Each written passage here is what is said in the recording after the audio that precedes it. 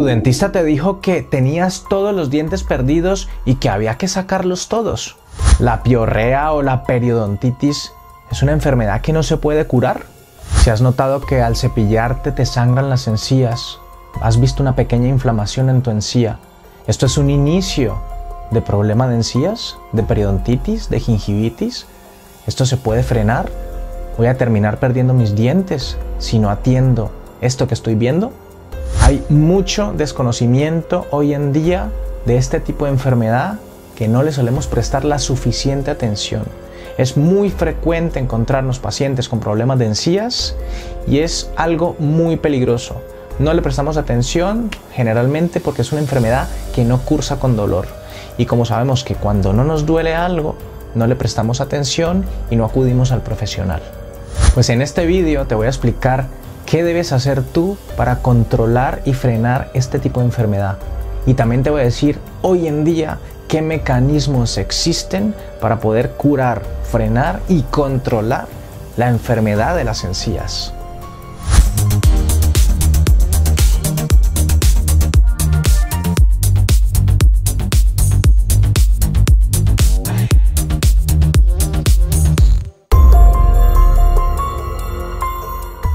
Es una enfermedad para mí muy peligrosa. Peligrosa ¿por qué? Porque no te va a avisar con dolor. Tú si tienes un dolor, por lo menos te avisa. Te da eso de, tengo que ir al dentista, me está doliendo, o sea, no puedo evitarlo y te obliga el dolor a acudir al dentista. Pero este tipo de enfermedad resulta que no duele, incluso en estados muy avanzados, estados en los cuales ya esos dientes, por ejemplo, no, se pueden salvar, directamente los has perdido y nunca dolió. Es una enfermedad tan peligrosa que no respeta ni edad, puede surgir cuando somos jóvenes o cuando somos muy mayores o mayores, da igual la edad. Es una enfermedad que no discrimina sexo, puede ser mujer, hombre, da igual. Una enfermedad que si se sale de control no hay vuelta atrás. Aunque tengas el mejor dentista del mundo, no va a poder hacer mucho. Es una enfermedad que no te puede ganar esa batalla y que normalmente la termina ganando. Es una enfermedad que no solo la va a solucionar tu dentista, sino que tú como paciente también la debes solucionar. Un 50% del éxito de controlar ese tipo de enfermedad va a ser de tu dentista. Pero el otro 50% del éxito de ese control y esa erradicación de esa enfermedad, pues lo vas a tener que hacer tú. Y de pronto tú no sabes cómo hacerlo. Por eso es importante que tu dentista te lo explique. De ahí es donde viene lo de la prevención. Para poder entender cómo funciona esta enfermedad, lo primero que debemos saber es qué es el diente y sobre todo qué son los tejidos que lo soportan. Todos tenemos dientes, dientes incisivos, colmillos, caninos, premolares, muelas. Todos ellos, arriba, abajo, derecha, izquierda, todos nuestros dientes están metidos los tejidos periodontales. ¿Cuáles son los tejidos periodontales? La encía y el hueso. Las raíces, las raíces de nuestros dientes están insertados en nuestro hueso. Alrededor de la raíz está el ligamento periodontal, que es como una membranita que nos ayuda a soportar esa raíz de ese, de ese diente. Es como los amortiguadores de nuestros dientes. Todo ese conjunto de estructuras conforman los tejidos periodontales. Esos son los que afectan este tipo de enfermedad. Ya sabiendo más o menos las partes que rodean nuestro diente, pues básicamente la enfermedad periodontal es una enfermedad, es una patología inflamatoria de origen infeccioso, o sea, son unas bacterias que se van a ir pegando alrededor de nuestros dientes y si no las retiramos normalmente con un cepillado habitual, diario, eh, normal, esas bacterias se nos van a empezar a meter debajo de la encía. Una vez se encuentra en la encía, esa encía se va a empezar a inflamar. Va a empezar a decir, bueno, yo estas bacterias yo no las quiero, entonces la encía va a empezar a tener problemas inflamatorios, va a ponerse más roja, va a tender a sangrar, se va a empezar a dañar.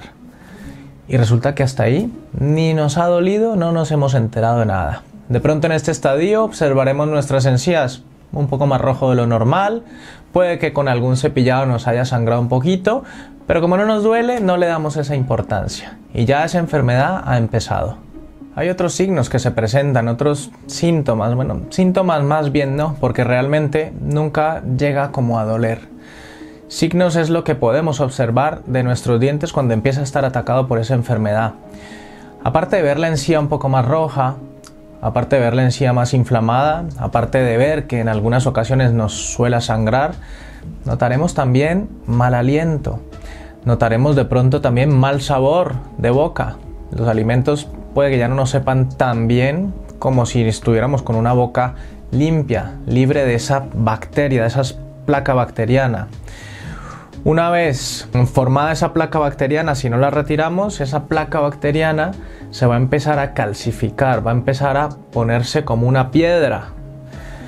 Eh, una vez formada piedra, aunque ya nos cepillemos, no lo vamos a poder quitar, porque es algo calcificado, algo que se va a empezar a adherir a nuestras raíces de nuestros dientes y es tan duro que ningún cepillo lo va a poder quitar. Puede que si esto ya empieza a avanzar un poco más, empecemos a notar que nuestros dientes como que se mueven un poquito más de lo normal. Eso va a seguir avanzando.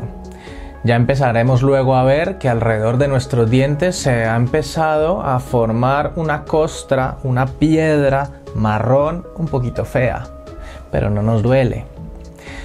Empezamos a notar de que nuestros dientes se empiezan a mover un poquito más, pero de pronto no le damos suficiente importancia.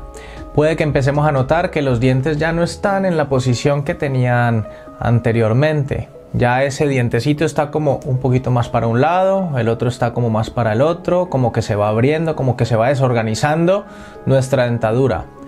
Puede que en este momento vayamos al dentista porque nos esté preocupando o puede que no. Y lo digo que puede que no, porque realmente la mayoría de los casos que veo ya es un estado súper avanzado y de repente ya eso está perdido. La enfermedad periodontal también puede ser localizada o generalizada. ¿Qué quiere decir localizada? Que puede presentarte, presentarse en un solo diente o en dos dientes o en el diente de aquí, en el diente de allá y en el diente de acá. O puede ser generalizada, puede presentarse en todos los dientes, todos los de abajo, todos los de arriba. A veces vemos en la televisión la publicidad que hacen las pastas dentales para encías. ¿Te sangra la encía? Esta pasta es para eso. ¿Te sangra la encía y tienes problemas de encías? Este enjuague te lo va a solucionar. Sí, están muy bien las pastas dentales, sí, efectivamente son para ese tipo de problemas. Esos enjuagues también son armas para contrarrestar ese ataque de esa enfermedad. Pero por ejemplo, si tenemos sarro acumulado, ninguna pasta, ningún cepillo, ningún enjuague va a poder eliminar ese sarro que está ocasionando esa inflamación en esas encías y, esa destrucción de hueso y de tejidos de soporte. Ahí ya tiene que intervenir el odontólogo, el dentista, a eliminar ese sarro. Y a partir de ahí es donde ya las pastas dentales y los enjuagues es donde te van a ayudar a ti a mantener esa enfermedad a raya, dependiendo un poquito del estadio en que ya se, se encuentra. Puede estar en un estado muy leve, donde es una simple inflamación de las encías y todavía no se ha empezado a destruir el hueso que sujeta tus dientes, o puede estar en una enfermedad de tipo moderado donde algo de hueso se ha perdido, pero no es tanto y tú le puedes dar un mantenimiento, más el dentista puede irlo controlando. O puede estar en un estado muy avanzado donde ya hay una destrucción bastante grave del, del hueso que sujeta tus dientes. Si has notado esto en tus encías, fíjate en tus encías, conoce tu boca. Es importante que Así como nos miramos en el espejo y nos vemos si estamos guapos o estamos feos y nos maquillamos o, o etcétera, todo ese tipo de cosas, pues mira tu boca también en el espejo, mira tus dientes. Mira la forma de tus dientes, mira el color de tus dientes, mira la forma de las encías, mira el color de tus encías. Unas encías sanas van a tener un color rosa coral pálido. Una encía sana, aunque la cepilles fuertemente no va a sangrar. Una encía enferma va a sangrar, una encía sana no. Una encía sana tú la verás en un espejo que tiene una forma muy armónica, ¿vale? Muy simétrica. Una encía que no está sana, vas a ver un desorden de encía, que aquí está así, acá está así, acá, aquí tiene una zona más gorda que otra, ¿vale? Eso sería una encía que tiene algún tipo de problema. Eh, normalmente un problema de encías inicial ¿qué es lo que tenemos que hacer nosotros los dentistas? Si está en un estado inicial, vamos a hacer una limpieza normal y corriente. En esa limpieza vamos a pasar seguramente un aparato de ultrasonidos y luego pasaremos un cepillo de profilaxis. En algunos casos utilizaremos aeropulidores, que esto es algo muy moderno y complementa también la limpieza. Pero sobre todo la información que te debe dar tu dentista para que tú mismo en tu casa, con la higiene diaria, puedas mantener esas encías sanas y mantener esos dientes sanos, que ahí es donde a veces de pronto estamos fallando o que el dentista no te informa de que tú tienes que mantener eso o tú no sigues las instrucciones ¿vale? Esto es un trabajo de dos, tu dentista y tú como paciente. Y estamos hablando de un estado inicial. En un estado moderado donde todavía tenemos freno a esa enfermedad, pues veríamos unas encías inflamadas, algo de pérdida de tejidos de soporte. En ese caso, tu dentista te va a hacer una limpieza más profunda, esto le llamamos normalmente curetajes. Para hacer un curetaje, eh, generalmente hay que anestesiar la zona, porque hay que entrar un poquito dentro de esa encía donde ahí está alojado ese sarro que tenemos que retirar. Pasaremos un aparatito de ultrasonido, ese aparato de ultrasonido va a ir retirando, va a ir desprendiendo todo ese sarro y luego pasaremos unas curetas manuales para dejar lisa y lo más limpio posible la superficie de la raíz de los dientes que es ahí donde se estaba pegando ese sarro, donde estaba alojando ese sarro. Con eso conseguimos que eliminar todo el sarro. Una vez eliminado ese sarro, la encía se va a desinflamar. Pero si ya esa enfermedad, como estamos hablando, está en un estado moderado, quiere decir de que ya algo de tejido de soporte, hueso, por ejemplo, y algo de encía se ha perdido. Una vez con esto perdido, no se va a volver a generar. El hueso no va a crecer nuevamente porque sí. La encía no va a volver a estar a su sitio original porque sí, no. Ya una vez perdido, está perdido. Lo que se intenta es que no se pierda más. ¿Y cómo se logra esto? Una vez hecho los curetajes, tú en tu casa con tu higiene diaria debes mantenerlo bajo las instrucciones del, dentista. Y si ya tenemos un caso demasiado avanzado, de pronto se puede frenar o de pronto no, de pronto algunos dientes ya están perdidos porque no tienen ningún soporte, otros de pronto se puedan mantener, pues ya se harán curetajes, el dentista te hará unos curetajes, puede que en ese caso, además de anestesiar, toque hacer una cirugía, levantar la encía, entrar ahí debajo, eliminar todo ese sarro que está destrozando todo ese hueso. Seguramente nos encontraremos el hueso totalmente desorganizado, pues habrá que regularizar ese hueso, volver a darle armonía a ese hueso, cerrar encía. Bueno, ya nos metemos en una cirugía periodontal. Una vez hecha esa cirugía periodontal, a nivel estético eh, hay un compromiso bastante fuerte. Veremos esas encías pues sin inflamación, pero totalmente las, eh, las, de arriba, allá arriba, que ni las vemos, veremos unos dientes súper super largos, donde se ven todas las raíces. Eh, con eso conseguimos de que desinflamemos la encía, eliminemos el factor que nos está ocasionando este tipo de enfermedad, que es el sarro, y que tú le puedas dar un mantenimiento más sencillo al haber despejado todo eso. Pero puede que ya sea tan avanzado que esos dientes estén perdidos. Y aquí es donde tenemos que retirar todos los dientes. A veces incluso hay algo muy perdido que se ha localizado, que no esté afectando a todos los dientes, pero resulta que los poquitos dientes que quedan están medio afectados y no se pueden dejar ahí medio afectados porque así solo se van a comportar fatal, no podemos rehabilitar de una forma correcta y al final terminemos perdiéndolos. Por lo tanto, en algunos casos, si no son la mayoría, aunque hay algunos dientes que de pronto se puedan salvar, el hecho de salvarlos eh, condiciona muchos factores que al final, por el tipo de tratamiento que tengamos que realizar y, el correcto funcionamiento, nos obliga a tener que retirarlos todos. Y el problema es que el que nos encontramos nosotros los dentistas frente a estos casos de pérdida total de dientes o generalizado de dientes por culpa de la periodontitis, ese problema óseo, es que el paciente nos requiere volver a tener sus dientes fijos. Y para poder colocar dientes fijos en un paciente que ha perdido sus dientes naturales por culpa de ese tipo de enfermedad, es el hueso, que ese hueso está muy dañado, muy afectado o de pronto ya no hay hueso. ¿Y qué pasa? Que resulta que los implantes, si queremos dar algo fijo, necesitamos ese hueso que ya no tenemos.